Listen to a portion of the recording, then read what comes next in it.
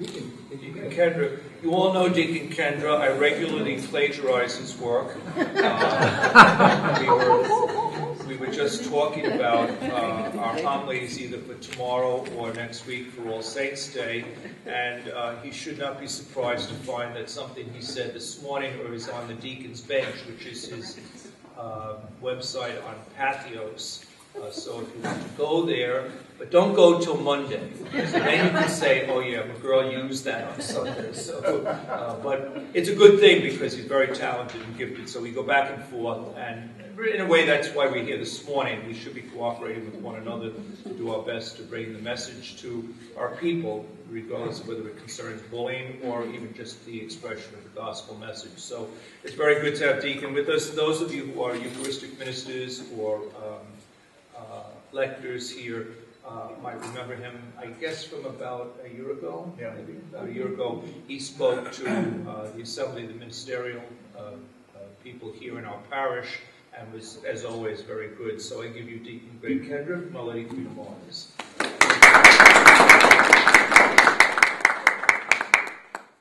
Thank you, Monsignor, for those warm words and uh, that very generous welcome.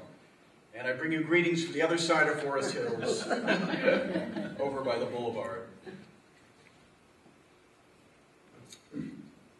Last August, on a hot summer day, a 15-year-old boy in Bay Village, Ohio, was approached by some other boys who asked him to take part in the Ice Bucket Challenge. A lot of you remember that from last summer. Swept the country. in an effort to uh, raise money for ALS research. The boy had autism and was somewhat isolated. He didn't have a lot of friends. And so he quickly agreed. He thought this would be something fun and a great way to meet people. He didn't have a clue what was about to happen. At the appropriate time, he met the boys outside his garage where he lived. He was wearing a bathing suit. They had rigged the ice bucket or a big plastic bucket above his head. And somebody pulled out a cell phone so that they could record this moment and put it online. And at the appropriate moment, they dropped the contents of the bucket on the boy. Well, the bucket didn't contain ice water. It contained urine and feces and trash. The boy was humiliated and sickened, and he ran home in tears. His mother alerted the authorities, but just a few hours later, the people who shot that video put it online in further effort to embarrass him. The next day, the boy's older brother was interviewed by a local TV station, and he was horrified. He said, The first thing that popped into my mind is why would someone do this? How could someone be this cruel? If you are looking for evidence at how horrific and how brutal and how evil bullying can be, I would offer that as Exhibit A. This is what we have become. Bullying has worked its way into our national conversation. In fact, the American Psychological Association even has an official definition. Bullying, they say, is a form of aggressive behavior in which someone intentionally and repeatedly causes another person injury or discomfort. Bullying can take the form of physical contact, words, or more subtle actions. The bullied individual typically has trouble defending him or herself and does nothing to cause the bullying. I think we're all aware it can take many forms, from name calling, taunting, mockery, cyberbullying on the internet, even physical abuse, as with the boy in the ice bucket challenge.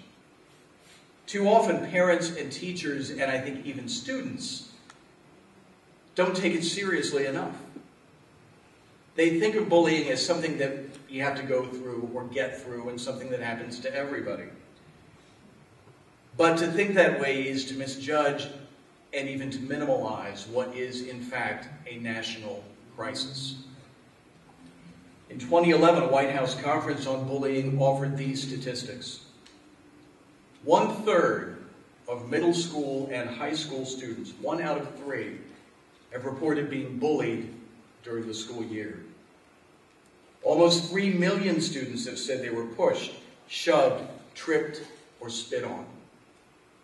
It's also more likely to affect kids who are seen as different, whether it's because of the color of their skin, the clothes they wear, a disability they have, or sexual orientation. Bullying leads to poor performance in school and even increased absence from school. Significantly, it can even lead to suicide. According to the CDC, suicide due to bullying is the third largest cause of death among young people. Bullying is more than a phase. It is more than an inconvenience, more than merely a problem. Bullying is a matter of life and death. When Dean first approached me and Monsignor McGurl about hosting this event, we talked about what would be the best time to do it, and we agreed that maybe in the fall, after kids are going back to school, would be ideal. By coincidence, though, October is Bullying Awareness Month. And perhaps even more significantly for us Catholics, the bishops have declared October Respect Life Month. To me, this is a life issue. How can we call ourselves Catholics? How can we believe in the gospel, believe in the resurrection, and respect life without addressing this issue and seeking to bring it to an end? Bullying crushes the spirit and it scars the soul. It attacks the vulnerable and it legitimizes hate. It is an issue especially close to every believing Christian, and for this reason. When we gaze at the cross, we look into the face of a man who was beaten and ridiculed and mocked. We see the pain of a man who was denied and betrayed and abandoned by his friends. Our God knows what it is like to see his son abused and scorned. He knows what it is like to be bullied. There's a story about Mother Teresa. Whenever anyone would approach her for some advice or asking for some words of wisdom, wanting to be more holy, she made it very simple. She would take someone's hand and count off the five fingers. She said, The gospel is in your hand. You did this to me. Whatever you did to the least of these, you did to me. The gospel is always with you, she would say. Whenever you look at your hand, remember that. You did this to me. How do we care for the least of these? That is the measure of our lives as Christians. So, very often, the victims of bullying are the least of these. They are the smallest, the quietest, the most vulnerable, sometimes the weakest. They trust in a world that is so often untrustworthy, and they suffer like that boy in Ohio for being different and sensitive and vulnerable. But our call as Catholic Christians is to protect and defend the least of these, but also to give dignity to all human life. If we don't cherish and honor and respect those who have been born, we won't do it for the unborn. What do we stand for if we don't stand for this simple fact that we respect life? Every life has worth, and every person is made in the image and likeness of God. When that story in Ohio first made the news, Drew Carey, who grew up in Ohio, came forward and he offered a $10,000 reward for any information leading to the arrest of the boys responsible. Well, just two weeks ago, a full two months after this event, police arrested five teenagers. They were charged with disorderly conduct, delinquency, and assault. They were all between the ages of 14 and 16. The prosecutor in Ohio says they realize that they crossed a line and they have expressed regret for what happened. Well, part of our mission here today is to prevent something like that from happening here, to raise awareness, and to change in some small way the conversation about bullying. To take a stand and very simply, very basically, to respect life. You're going to hear more in a moment from Dean and from several other people who are going to give advice, insight, offer some answers to questions that you may have about this issue. All of us who are here this morning have a stake in this. These are our children. They need to know that they are loved and supported, and that they need to know also that God is on their side. Because every time we look at the cross, we are looking at the ultimate victim of bullying. The great Protestant preacher Rick Warren, who wrote The Purpose Driven Life, once wrote about Mother Teresa, and he put it so beautifully. He said, The more you care about the powerless, the more power you have. The more you serve those with no influence, the more influence God will give you. My prayer this morning as we go forward is that we seize this opportunity to give power to the powerless, to give hope to the hopeless, to show mercy to those who feel that the world is merciless, and that those who have spent too long cowering in fear in the dark will finally come to know light. Thank you, and God bless you.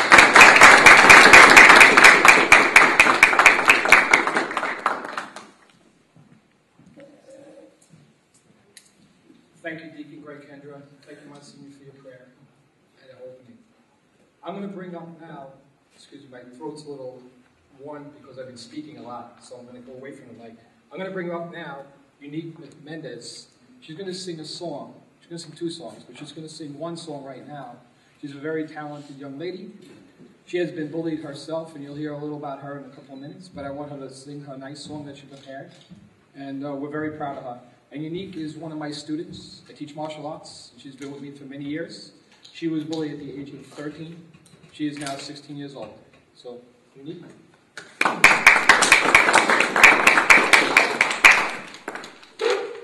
This song is called Price Tag. It's not an original, but it's something to make you guys remember, make people remember that it's the little things in life that we should worry about, like happiness instead of money, and always thinking about other things.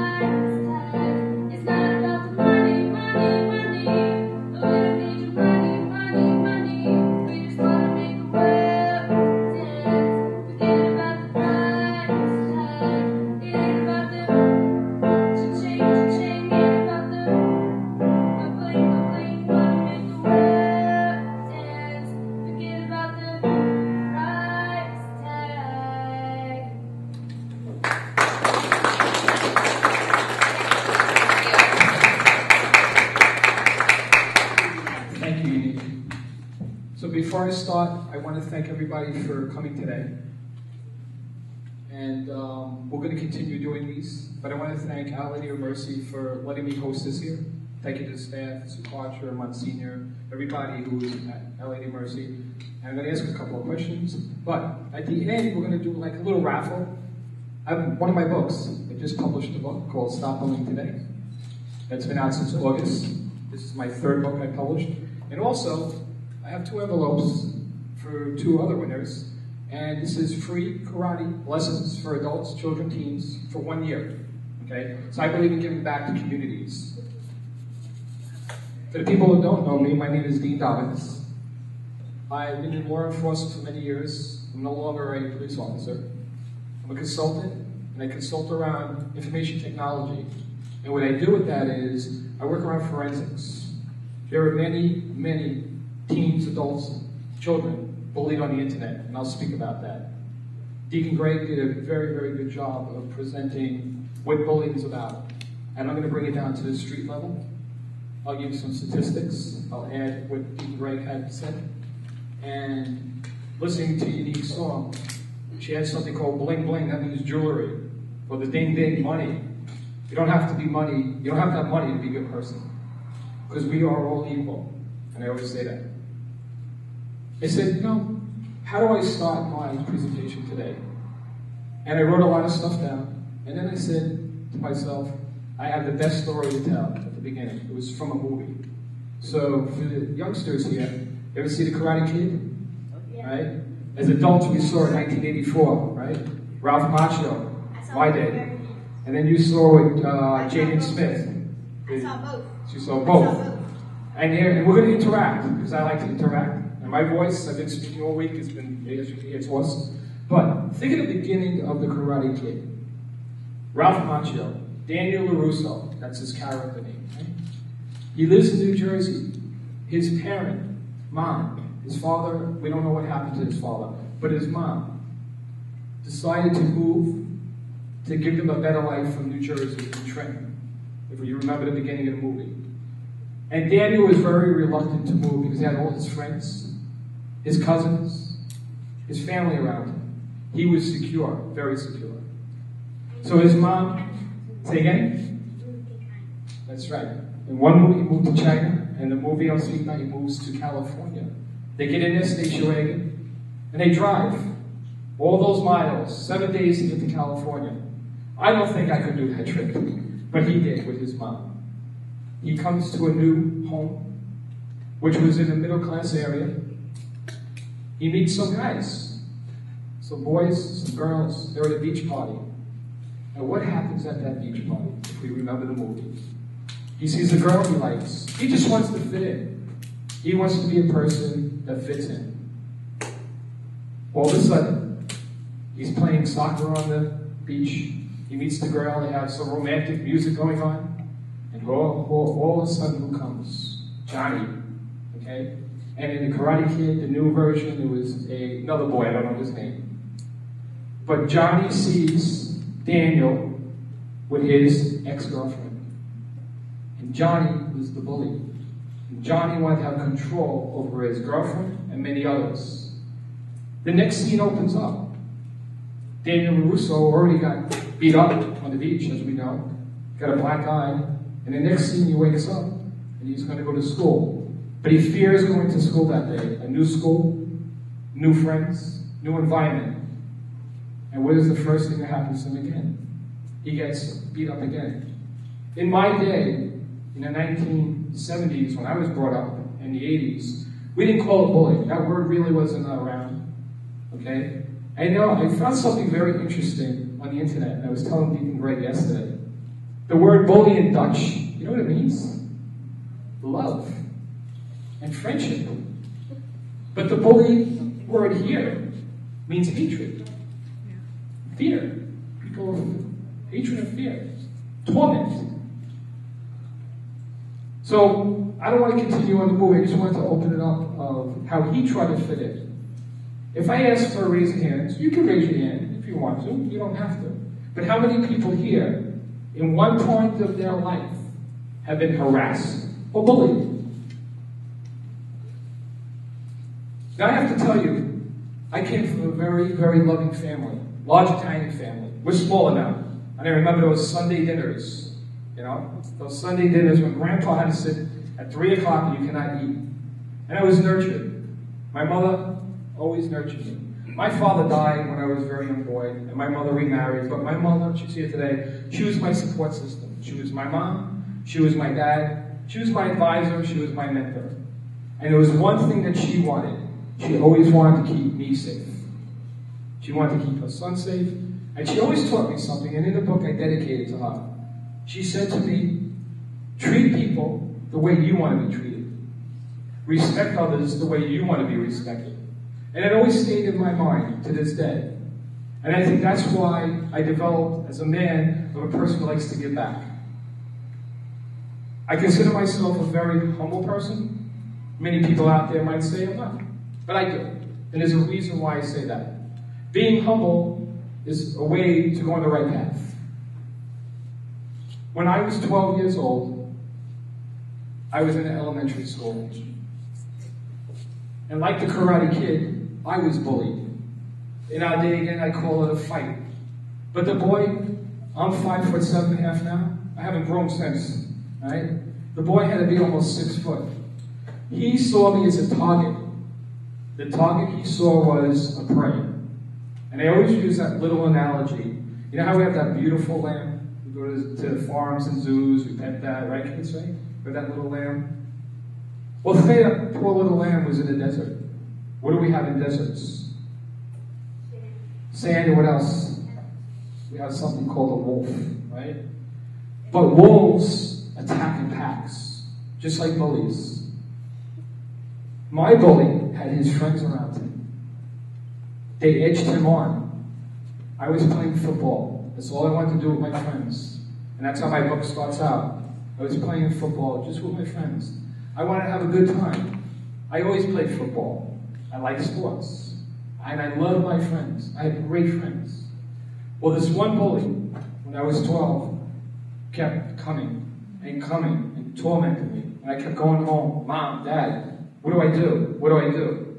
And my stepfather, he was a real tough hang. He said to me, you have to stand up for your life. You have to stand up for your rights. But I feared fighting this boy because he was bigger than me. Well, one day, he took my football. I tried to defend myself. He knocked me down, kicked me in my ear. To this day, I have some hearing loss. Then I ran home. But you know what my friends did when I got knocked down? They did not help. They ran away. Out of fear, they ran away. Are those friends? At the point, I didn't consider them friends anymore. Now I have to confront something. He went to my school. I had to go to school that day, the next day after it happened. What do I do now? For months, coming back. He never robbed my money, but bullies will take your money if they could. They could push me. The lockers, the bathrooms. And finally, my mom said, You need to learn how to defend yourself. And that's how I became a martial artist at the age of 12. I'm going to be 52 in January. I have not stopped. My story is not really about me, but I want to give you an intro of what I went through and what others go through. There's so many statistics. 160 teens and children get bullied every single day and every single minute. 4,700 teens commit suicide every single year due to not speaking to somebody. I spoke at a school yesterday, and a young boy actually said to me, Can we help bullies? And I said, Absolutely, we can help bullies.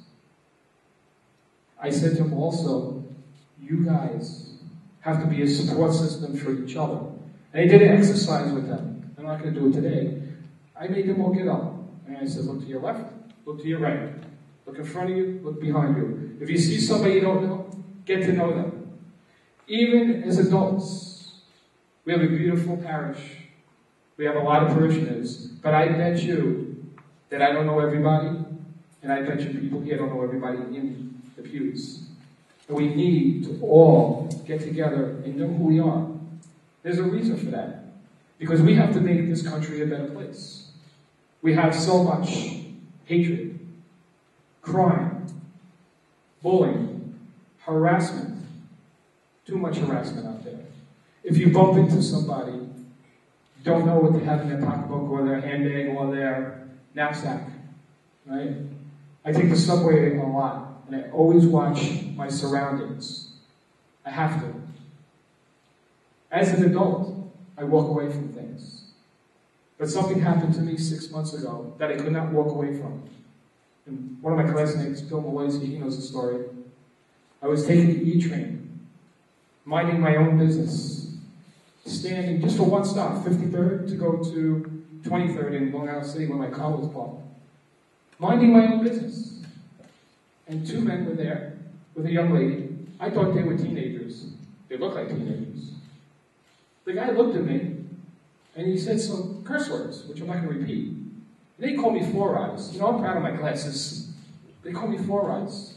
And what's the next thing he did? I looked at him and I said, You're speaking to me? Yeah, I'm speaking to you, blankety blank blank. And I was shocked. He threw a punch at me. I've been trained in the martial arts for over 40 years. I know how to defend myself. Did I want to defend myself? Did I want to hit him out of anger? I defended myself. I can tell you I hit him hard enough, he'll never forget it. But I didn't know these things work in subways. Anybody know that? These work in subways. So there was a fight on the train, I'm defending myself. Somebody called the police. I get pulled off. As soon the next time, I get pulled off, and they got pulled off. To find out they were 25 and 26 years old. They weren't children. But they looked at me as a target, a prey, that wolf, and they wanted to take advantage of somebody. And I have to say it was the wrong day for them. Because I tell you, that guy's going to remember. But I felt bad, because I was taught always to defend, not hit. And I teach my students the same thing. You have to walk away from it. In a couple of minutes, I'm going to put up a couple of slides just to go over the root of bullying. And think about something. And if you want to interact, that's fine. We're going to speak about what is a bully? Why do we have bullies? Where do they come from? A bully's big. A bully's short, tall. A bully's rich. A bully's poor. See, people say, ah, bullies come from broken families. That's not true. Bullies come from all walks of life. We have a lot of adults here. If you work, think about have you ever been bullied in the workplace? In the workplace, it happens. I do a lot of consulting, and it happened to me. And it, where it happened was my superior. He was very annoyed at something that we were supposed to do, but we weren't prepared. And he started cursing all of us. And then he said something. He said about my faith. And he was another Catholic. But he said about my faith. I took it very personal. I need to memorize. He said, You need to memorize this speech like you do the rosary. And I was very appalled at that. And I saw that as harassment. I didn't see him physical bullying me, but verbally he was cursing us. See, nobody has a right to curse anybody here. If you know them or not. Children curse, teens curse, of course. Adults, we say things.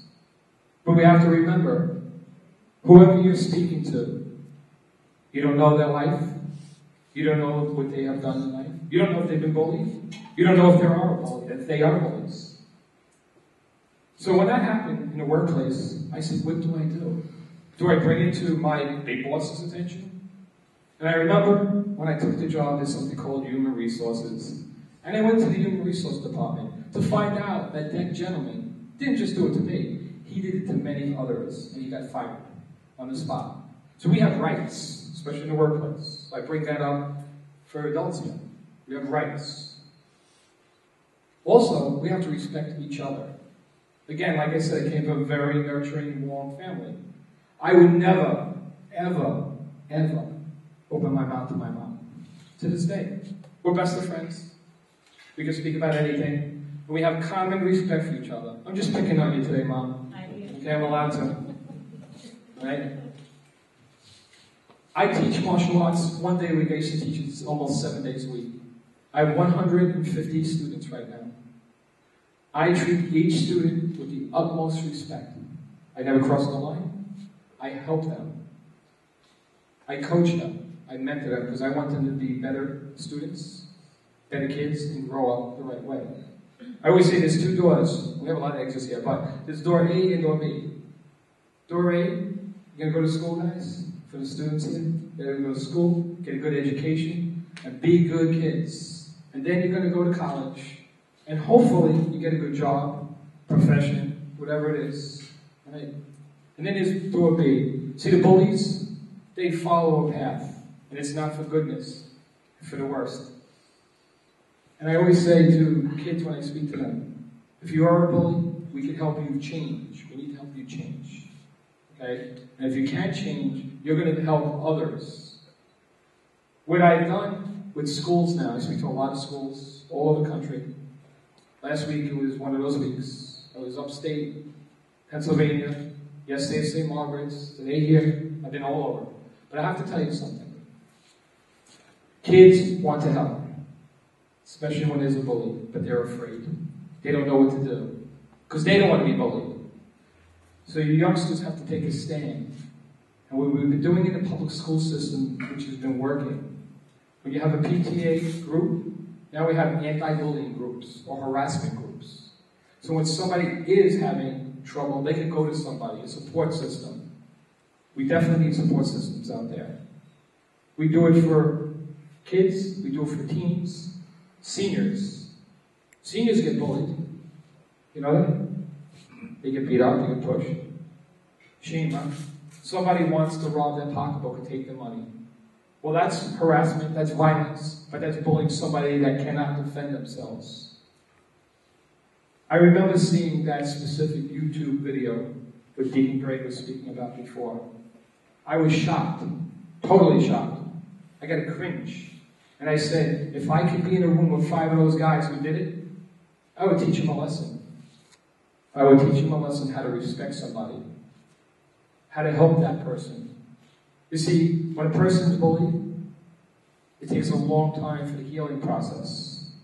It took me a long time, all the way through high school. And my parents always say it's going to get better. It's going to get better. There was times I did not want, especially in high school.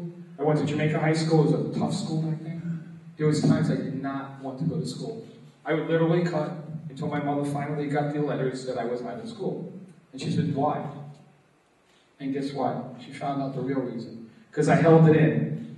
Now, did the martial arts help me? Oh yeah. It did help me a lot. Because it brought my self-esteem back up. It taught me how to respect myself. And it taught me how to have the courage to stand up to that last bully. I'm not going to ruin the ending of the book, but it's a good ending. What I'm going to do now, just uh, building, help me, just could do up and down on my um, laptop. I just want to show you some statistics, some keywords. We're going to talk about keywords. We're going to make it interactive. Then we'll take a little break. We'll maybe do some Q&A, a couple more songs. Okay, so Deacon Greg actually probably went through this whole whole PowerPoint put together, but if you look at it, right, various bullying behaviors, right? Who are bullies? How do children deal with bullies? Steps for adults to address bullies. How does an adult address a bully? Anybody? Anyone want to give a shot, Tom? You're here. Want to give it a shot? How does an adult, a parent, address a bully if that child is bullied? I'm putting you on the spot. I think uh, you got to start out with uh, what you have in common, uh, son. It's a boy, uh, you know, you know how much I love you. Uh, I'm a little worried about you. Uh, worried about me? Well, yeah, because and then go into the the activity, the, the behavior, which is uh, obviously not good for the victim or for the bully. Well said. What is bullying? Right? Let me pick on the youngsters here. Who wants to tell me what is bullying? Okay. What's your name? Hunter. Do you go to school here? Good. What grade are you in? What grade are you guys in? Third grade. Okay, good. Good. Go ahead, Hunter. Tell me, what is bullying? What do you think bullying is about? Bullying is about following people, pushing stealing. You know why bullies bully us? They're jealous sometimes of what we have or we don't have, right? You know, well, go ahead, you can keep going. I like your gloves. What is a bully? A bully to me, like I said, is a predator. Wants something that I have. Bullies also are jealous. They're jealous of what people have. Say a bully doesn't have what, maybe they don't have a watch that I have. Maybe they want that. Go ahead, young man. A bully is someone who mistreats anyone who's not like them Anything else? and who and who hurts people who can defend themselves. That's right.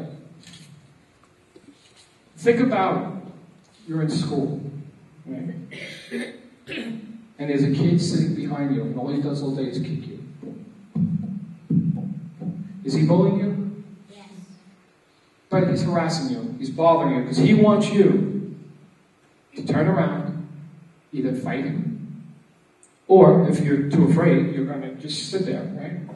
I always see people walk away from a bully. You know, when a bully starts laughing or makes a joke about somebody, big, skinny, fat, whatever, right, and kids join in, don't laugh about it with them.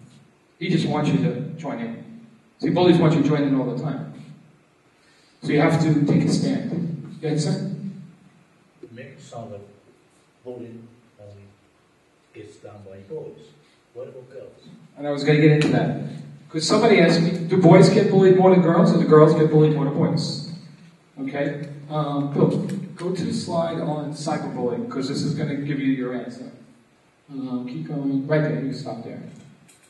Girls are bullied more than boys when it comes to cyberbullying, internet.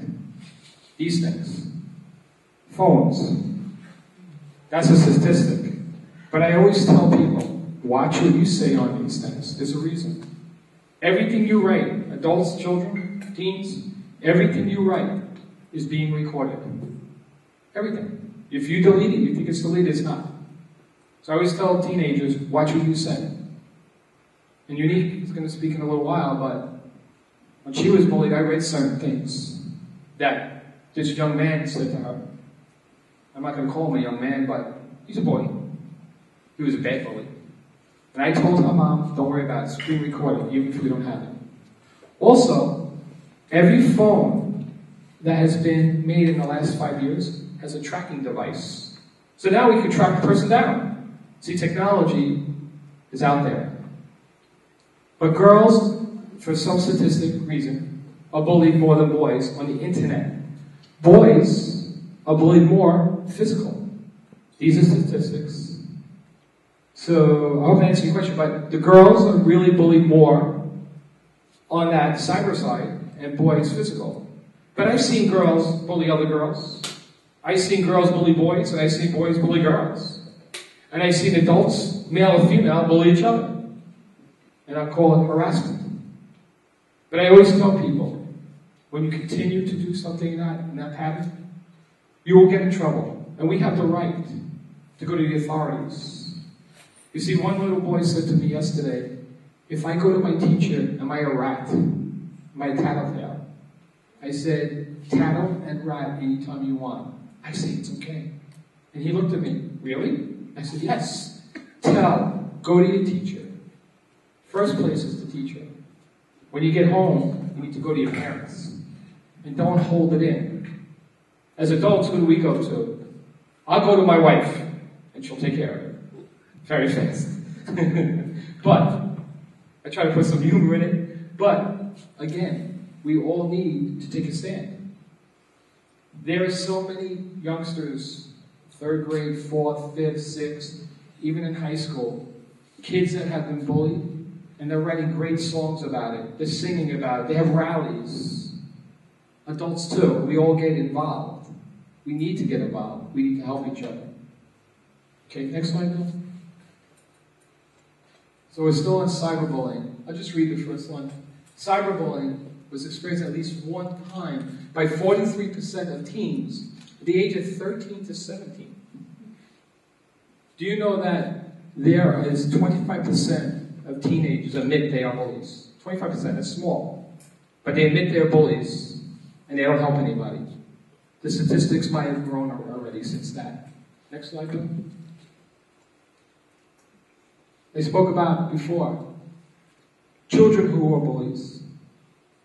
They come from any ethnic, cultural, or religious background. So it could happen anywhere. It says most bullying with children happen in middle school to high school. Again, we try to nurture our children, keep them safe. It's our educators, when we're not there, they need to take care of our children every single day. I just spoke at a school that my photographer's children go to. This is my friend Tony. Great guy, great photographer. So I'm plugging him a little bit. But I spoke in front of their PTA, and then I spoke in front of the children. And I asked the question I asked before how many people here have been bullied? Children. 75% of the kids raised their hands. I said, Are there any bullies here? Five came forward. I spoke to the five children afterwards, and they told me the reason why they were being, why they're bullies, because they were bullied and they had all this anger and rage inside. And I'm not a counselor, I'm just a consultant. I consider myself a consultant with my foundation Stop Bullying Today. And I told them to speak to the guidance counselor, speak to the vice principal, go to the principal, and try to work these issues out. Go to the parents, seek the help. Because bullies need to really be helped. Okay? So, one more slide. I have 25 slides. I just wanted to put up a few that, you know, behaviors. Children who bully, wanted power, right? Attitude towards violence. Bullies are very violent. I, yesterday, and maybe Deacon Greg can jump in, but yesterday, something happened in Seattle, right? Seattle, Washington. And we saw it all over the news. This was in a high school. But listening to it, and listening to the police officer who was explaining it, I don't, I don't know if it was a boy or a girl, because I didn't get the whole story, but there was a confrontation between two of them. And that person said, I will be back tomorrow with a gun, and I will kill you. You see, back in the 50s, 60s, 70s, 80s, we used our hands in a fight. Now, unfortunately, like I said before, knives, guns, bats, whatever they use. And it's sad that we have to live like this. But we have to take control of our communities, and we have to make them safe. So yesterday, when I was reading this online, it bothered me. Because it wasn't just that situation in Seattle. There was three others, California, another one in Florida. I mean, every day you're hearing this. Children bullying children, teens bullying teens, shootings, violence. How do we stop it? Well, this community here in Forest Hills, if we all came together, once at a time, I think we can stop this. But we need to educate others. So, if we're 20, 30 people here today, we need to speak to other people who weren't here today and explain what Deacon Greg said, myself, Monsignor, the beautiful song Unique played, and what she's going to speak to you about in a couple of minutes. One more slide, go a couple down. Yeah, a few down. Keep going. Keep going. I think you're going back up. I'm sorry, which one? It's okay. I won't hold it against you. Okay. Keep going. One more. The negative impacts of witnessing bullying, and then we're going to stop here on our break. Like I said before in my book, and what happened to me, I got hit, I got knocked down, and my friends ran away. They didn't do anything. They said, "Oh, I fear this bully. I'm leaving. And it was sad to see my close friends, since I was five years old, run away from me. So if you ever see one of your friends in trouble, my three and fourth, um, you guys are third grade, how old are you? 11. If you ever see a friend in trouble, a friend in need, what are you going to do? That's right, you're going to help them. You know why you're going to help them? Because you're a better person, and you're going to help them against the people who are trying to hurt him. Okay? And help them, don't get hurt. Break it up. Stop it. We have to stop that. So we're going to take a break. Thank you for listening to me, and we'll come back in about 10 minutes. Okay? Thank you.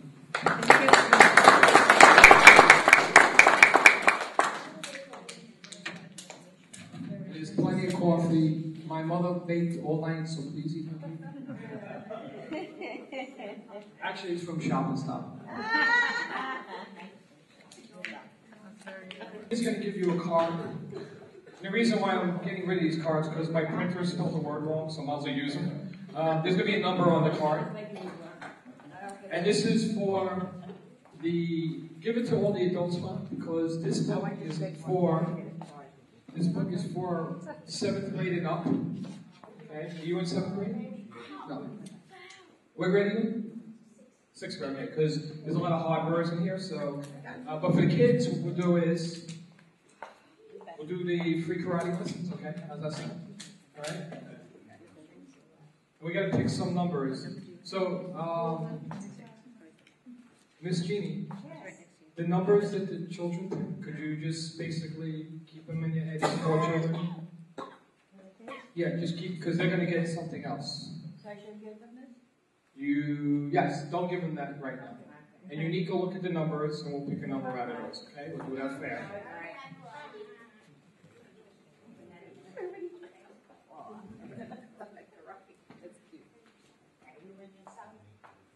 Dean, can I be in it? But you have my book. Oh, yeah, I said the book, I'm sorry. I thought it was for karate. In karate, you could come anytime you want. I did teach the kids. Thank you. I, I actually run a free nonprofit martial arts program in Fresh Meadows, and this is what this is for. Um, like I said, we have about 150 students, and we have classes Monday, Tuesday, Wednesday, Thursday, Saturdays. For adults, we have cardio kickboxing. We have instructors teaching that. For the big guys that want to do the rough and tough karate, we have a Thursday night class. My partner Don Boydie lives here in Middle Village. He comes down, and then for the kids, it really just brings their awareness up. Like I said, it helps them a lot. I had students that their grades, and I didn't mention about grades, but I had students that grades were really, really falling. To find out they were bullied, number one, and they weren't going to school, similar to what I did. Then I had to go back to school because I have a tough mom, so I had to go back to school. Okay. Uh, now, we doing good on the, on the cards? Very good. Okay. Very good. Am I getting good pay for this or what? You know, I'm going to treat you like a queen, and we're going to go to Burger King. That's right, you get a crown over there. You like that, Deacon Greg? I've only got started. You get a crown over there. You get a crown over there. Yeah, I, I asked my mother about a couple of weeks ago. I said, "Mom, when you my mother was brought up in the '50s, so if anybody was brought up in the '50s, you'll, you know." I said, "When at school, when you would see a fight or something, what they call it back that back then?" She goes, uh, "They called it uh, going for blows, like knocking each other out." But it was. and actually, I'll, I'll tell a quick story, and then we'll continue uh, about my dad, my deceased dad. He met my mom in, and hopefully the story sticks. He met my mom in junior high school now? High school. High school. Jamaica High School. So I went to the same high school as my mom, different times, of course, as we go. And my mom and dad met, like everybody else meeting their loved one. And some guys were jealous of my dad dating my mom. I guess somebody liked my mom. The story is the correct story, not, it's okay, it's a good story. But it's this, this part is the truth of the story. My father was beat up by five guys, mom? Mm-hmm. Five, six guys, and put in the hospital. This is in high school. Now, is it over you or somebody else? Whatever the case may be, whatever the case may be, this is back in the, in the, in the late 50s, right? Early 60s, 50s. But could you imagine that? My father, all he wanted to do is find love, right? As we know, I'm here, right?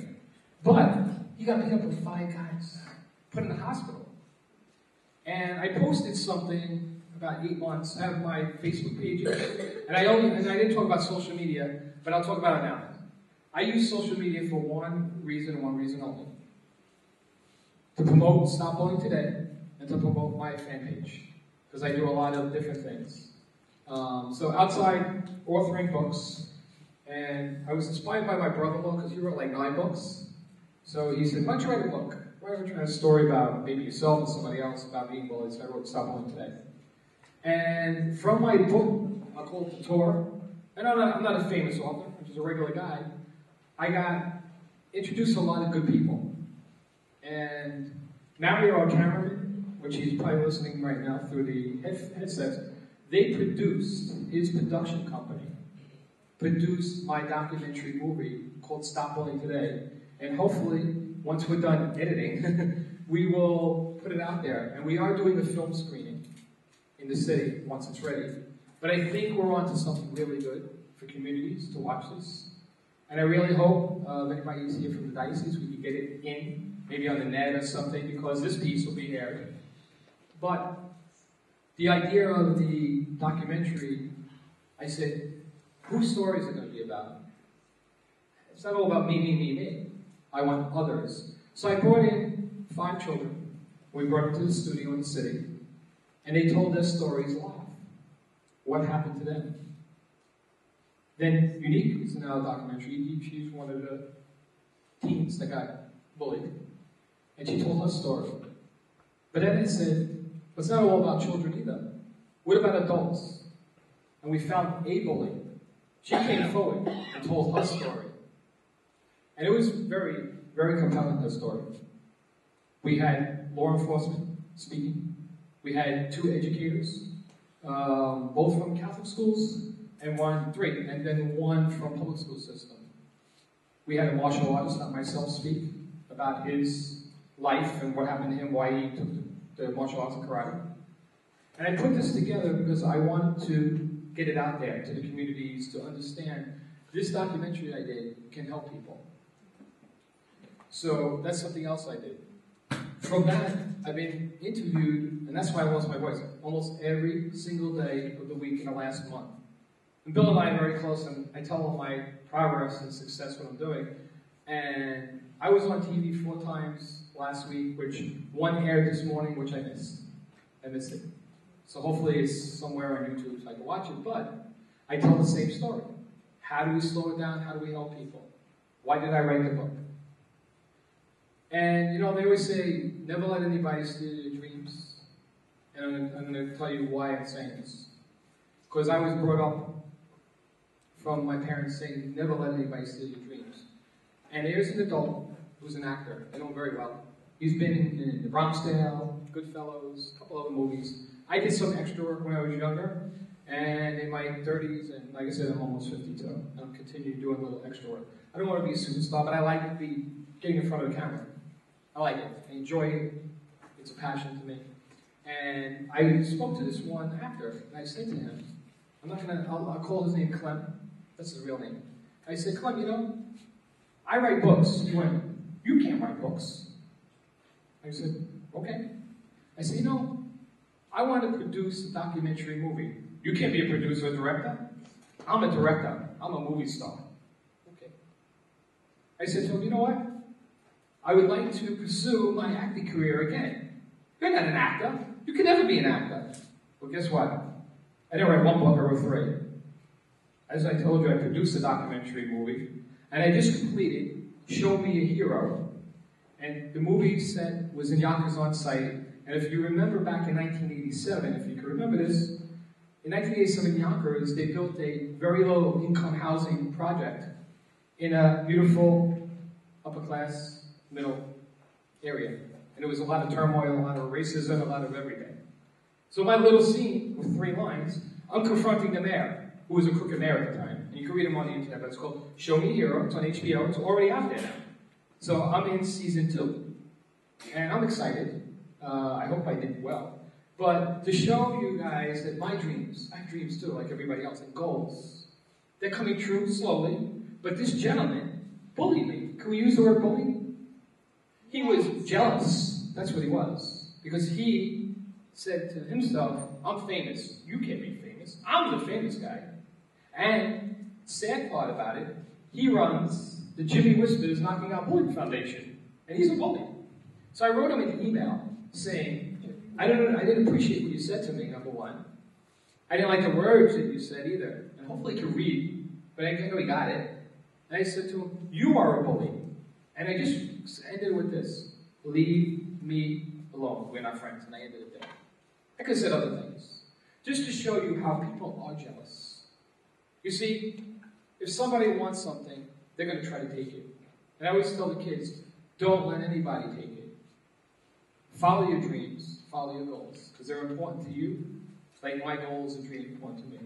So we're going to have Unique play another song, and then Unique's going to speak about her bullying incident, maybe not in full detail, because I know it, it hurts her.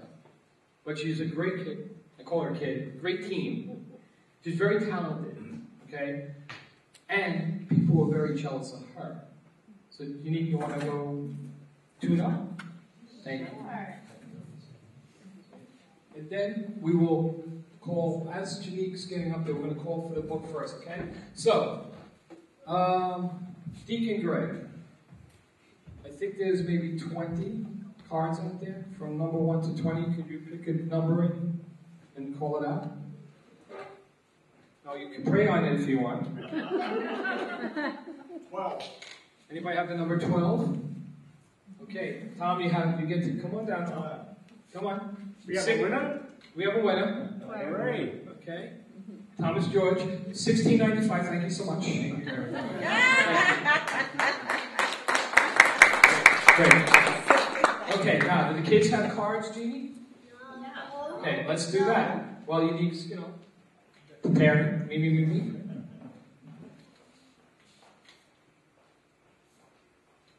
So, one of the children here will get karate lessons and then an adult. So hold your cards, because we're going to pick another number.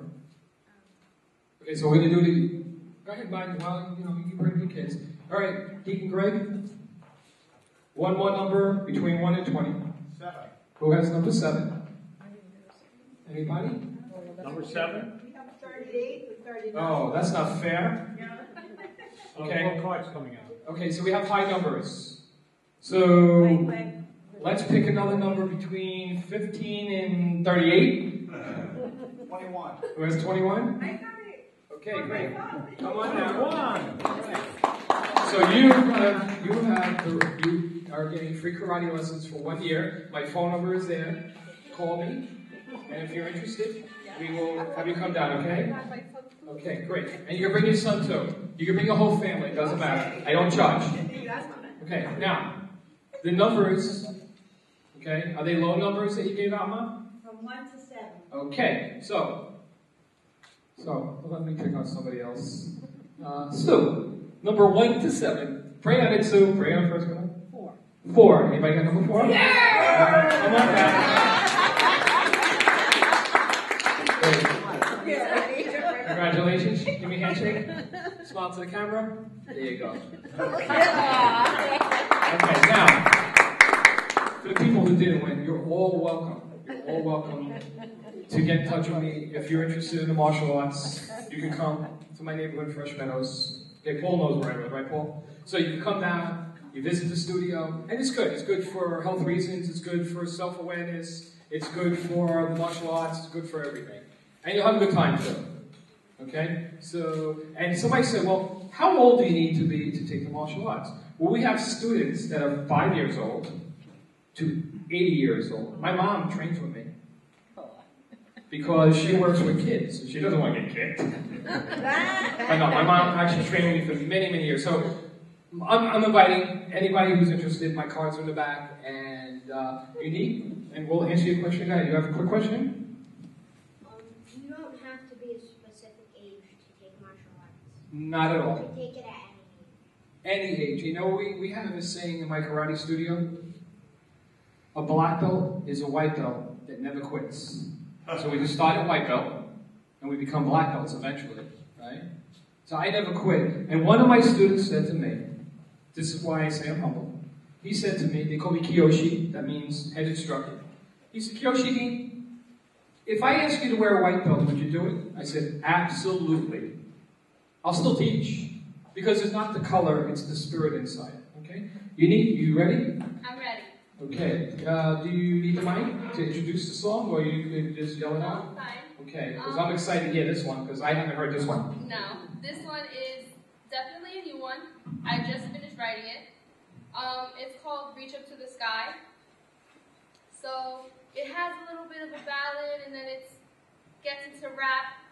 I was trying to get to, you know, the younger kids, so I hope you guys enjoy it.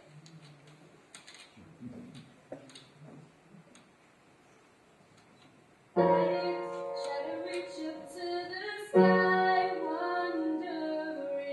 to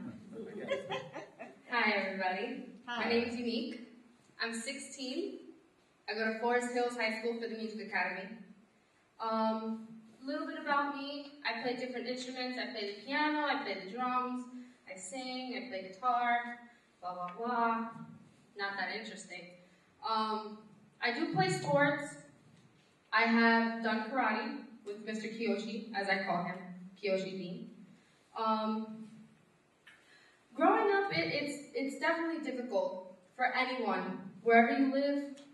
Everybody has their own problems. Whether you're you're rich, you're poor, you're fat, you're skinny, you're tall, you're young, you're old. Everybody has their own problems. When you're older, you have bills. There's bills for you to pay.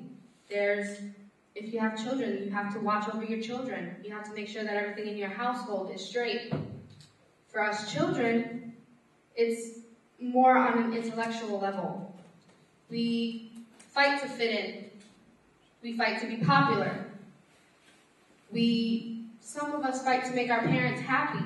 We want to make our parents happy. We want to do good in school, right? We want to do good in school. We want to play sports. We want to have a lot of friends. We want to beat the high score on a video game. Yes. I know I do. But what happens when other children don't see you like that? What if what if you go from one day, and I'm talking about personal experience now. What if one day you're president of the school, cheerleading captain, you have a whole bunch of friends. You go from being popular one day, and then the next day nobody likes you. Nobody wants to talk to you. You're isolated. At lunchtime, nobody wants to sit with you. In gym time, you're picked last. In the schoolyard, you're left to sit in a corner. In a corner like this by yourself. Because there's people in that corner that you can see that are making it obvious that they're talking about you, laughing at you, pointing at you, calling you names. In class, people that ask you for help don't want to touch you. And for a reason that you couldn't have prevented. It, wasn't something like you had an issue with another child. It wasn't anything like that. You just, something happened. Young children didn't understand. So they decided to pick on you for it.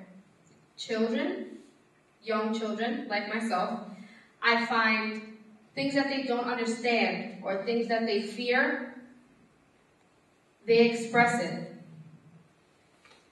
A lot of times through bullying. I personally, in my own opinion, think that bullies bully due to fear. Bullies will pick on you because you're fat, because you're skinny. Why? Because they're afraid that one day, what if they like, what if they're like that, and people don't accept them? Then what? Now, Mr. Kiyoshi Dean over here was saying that you should go to a parent, which you should, or most importantly, school authority, right? Like your guidance counselor, your assistant principal, your vice principal, anything like that. But what happens if they don't do anything? Because that's what happened in my case. I was getting text messages after text messages from people that obviously didn't like me, wishing bad on me every single day. And when I went to my guidance counselor about it, when I went to my vice principal about it, nothing happened. They brought the kid into the office and said, You're a better man than that, and let him leave. They didn't call his parents, nothing. They just let him leave. There, there was no punishment for what he had said to me. None whatsoever. Thank God that I have a mom like I do. And I have people like Kiyoshi in my life that would do anything to make sure that I'm safe and that I'm okay. Because if I didn't have that, I don't know where I would be. Bullying often gets into people's heads and you start becoming something I like to call a self-bully. You start bullying yourself because everything that they say, you start believing it. If somebody tells you every single day that the sky is purple, the sky is purple, you obviously see that it's blue. But if everybody in your life keeps telling you every single day the sky is purple, you're going to start believing it. Even though that it's evident the sky is blue. It's like when we hear something on the news. It's like telephone. One person says something, and then it gets altered. And then we start believing it. We start believing what we're hearing. So what do we say? We say it out loud, right? If somebody's telling you that the sky is purple, but the sky is blue, you're gonna believe it. Same thing with bullies. If somebody's telling you every day that you're worthless, that you don't mean anything, you're gonna start believing it. And that's where the problem is. I know back in my mom's time, and she probably doesn't understand me as well, because she grew up in a different time. My mom grew up where you had a few choice words, if it got physical, it got physical, and it ended there.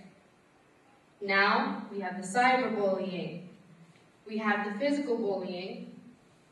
And what I think is the worst is the emotional bullying, where people come to you and they start saying things. Doesn't necessarily have to be in your face. But what happens? You build a complex. And as you get older, that complex gets worse and worse. You start feeling like everyone's talking about you. And that's where depression comes in. That's where anxiety comes in. And that's why we have so many adults now that people just think, oh, bullying, it's, it's a phase. You'll get over it. You're young. You're a kid. You have time. You realize as you get older, you'll get wiser. But things get stuck, they get stuck in your head, they get embedded. And whether we want to believe it or not, that experiences like that affect us. What is the rate of depression and anxiety in adults? Why do we have so much depression and anxiety within teenagers? And a lot of adults don't understand that now. How can you have depression and anxiety? You're only 16. I have my own problems the same way adults have their own problems. They're third grade. You're what grade? Six. Sixth grade. They have their own problems. Schoolwork. Children. These are their problems. And to us, that means a lot. So for us, and I think children, right? You guys would agree with me. We all need our parents. We all need that person sitting next to you guys telling you that it's gonna be okay, right? It's gonna be okay. My grandfather used to tell me, you should not let your heart walk away from you unless your mind grows legs to walk with it. And I never understood what that meant. Ever. I was just like, Grandpa, you don't know what you're talking about. What are you talking about? Now I understand it. If your mind is not right with yourself or with other people, and you're not able to forgive, how are you able, how are you ever going to be able to trust anybody? How are you going to be able to trust yourself? How are you going to be able to trust instinct? You're not going to be able to trust instinct because you couldn't trust yourself. Yeah. And I think that's about it. Thank you. Very. You know, we didn't even have that. It was a great job. Great job. It takes a lot of courage for a young lady to tell you a story. And she gave you some of it. She didn't go into detail. But I saw the transcripts. I saw what that boy said. And I wanted to bring him into my karate studio. You know what I wanted to do, but I didn't.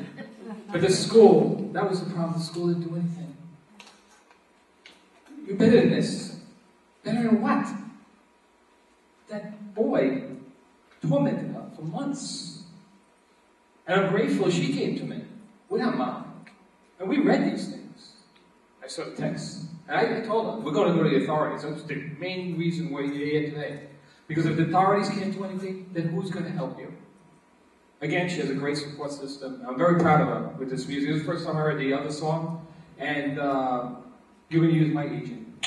Okay? um, so Deacon Greg Kandra is going to close with some uh, closing remarks, whatever he wants to speak about. But it's been such a pleasure. I really, really appreciate everybody who came today. And hopefully we'll have another one and have a lot more people. But I keep everybody in my heart here because you're here today. And you're here for a reason. Okay? My information is up there, my business card's in the back. I act as a consultant on the private, on the privacy level. Everything that's said to me stays. Um, I'm going to just end it with one uh, one uh, incident that just happened. Uh, a lady called me. I met her about nine months ago, uh, speaking at an event. From Long Island, and she said to me, "Do you consult with adults?" And I said, uh, "In what way?" And she told me. I said, "Sure." And she started telling me about these things. So this this lady's around my age, 52, and I was shocked at 52 how people interact with each other, and everything was on cyber. It's all cyber.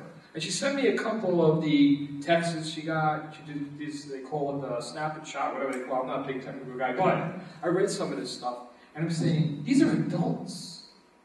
I see how kids do it, but these are adults doing this, cyberbullying. And she was hysterical on the phone. She was very emotional. So I'm going to take the case. I'm going to try to help her. And she did go to the authorities. You know what they said?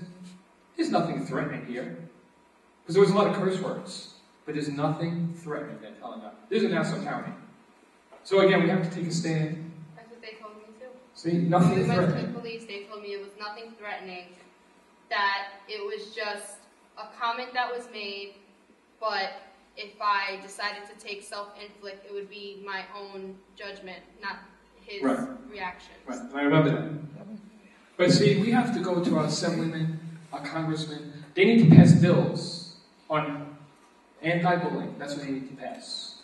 And it's very hard to pass these bill- bills because, like Monsignor said at the beginning, the word bullying, do you take it? Right? Again, in our day it was a fight. Now we're in 2014. It's called the word bullying. And I was trying to figure out when this word came around. It's been around a long time, but I heard it in the last 20 years. Bully, bully, bully, bully. Now, how do we stop it, right? As members of communities. So I'll end this with thank you so much. Okay, I'm gonna give this mic over to Dean Greg because we can speak all day here, and I know we all want me to go to lunch or spend time with our families. So thank you and God bless you.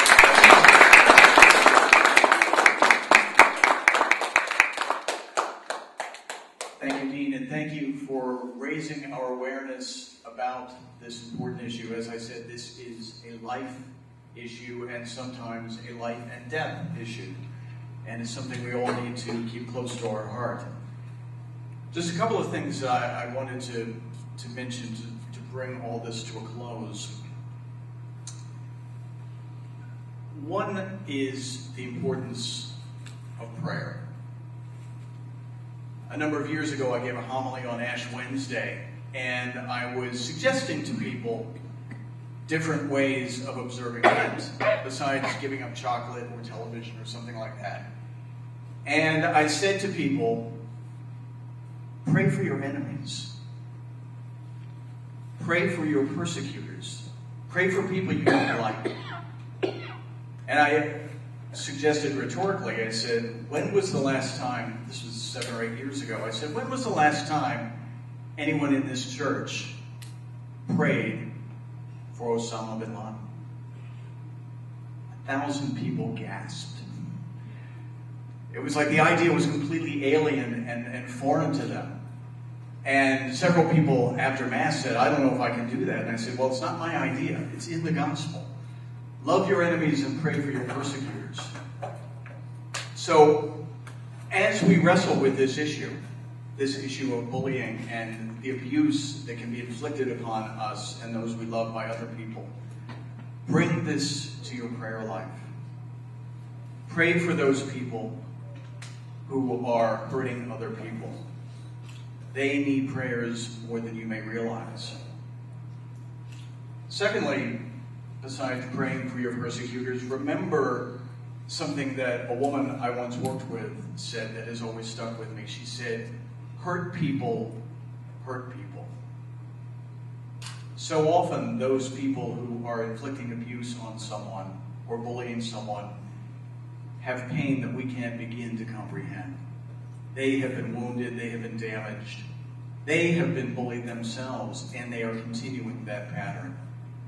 We can't often understand what motivates someone to do that. Dean gave some very good examples earlier.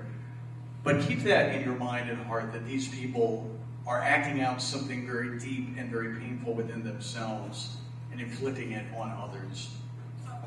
And finally, I want to mention something that would seem so obvious. We're going to hear about this in tomorrow's gospel. When the Pharisees asked Jesus, What are the two most important laws? And he says, Love the Lord your God and love your neighbor as yourself. That is so hard for us to wrap our heads around sometimes, and to wrap our arms around.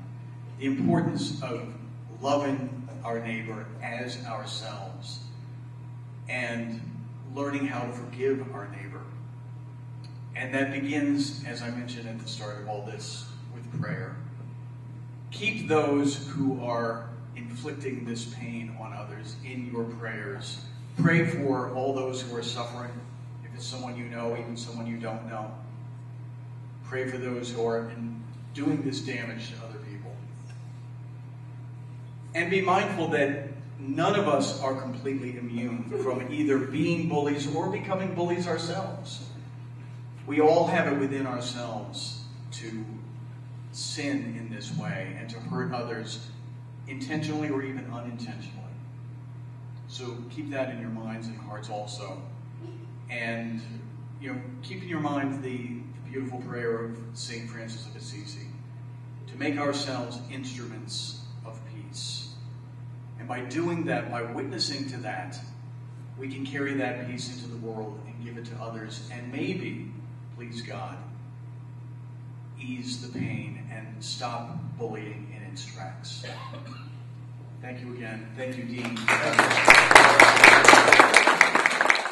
Thank you, Gray.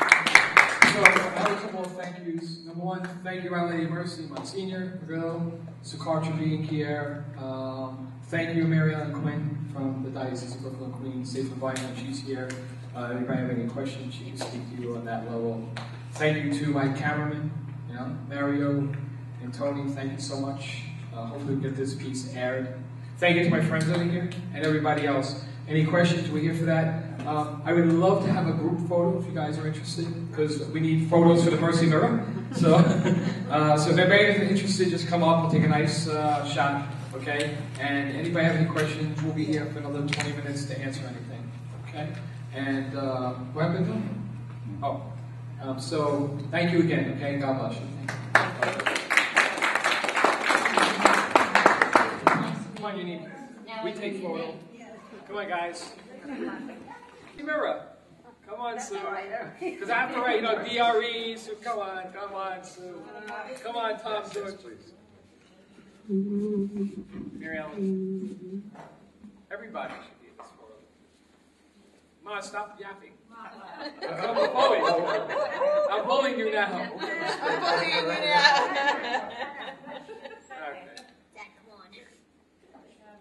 And Tony, you're gonna make us laugh so we can smile, right? Yeah.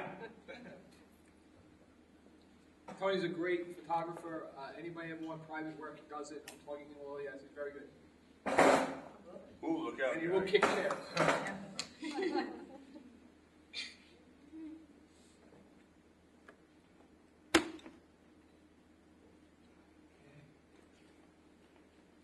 Everybody look here, smile. See everybody, perfect, perfect. That person there, can you just step out a little bit this way? I can, I can see you better. Awesome. Perfect, perfect, perfect.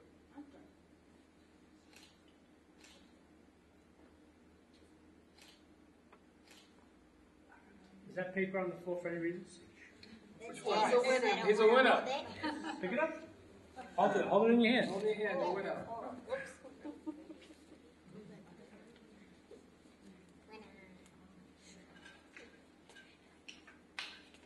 That's fine. Thank you. Nice.